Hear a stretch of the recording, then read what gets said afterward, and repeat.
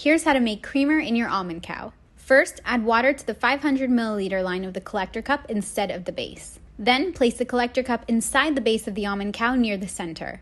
Add your ingredients of choice to the filter basket. Today I'm making cashew creamer. Attach the filter basket to the top and place it onto the base. Then press the cow and let it run. That's it. In less than a minute, you'll have plant based creamer. Super thick and creamy, perfect for your morning coffee. Have you tried any of our creamer recipes? Let us know your favorites in the comments.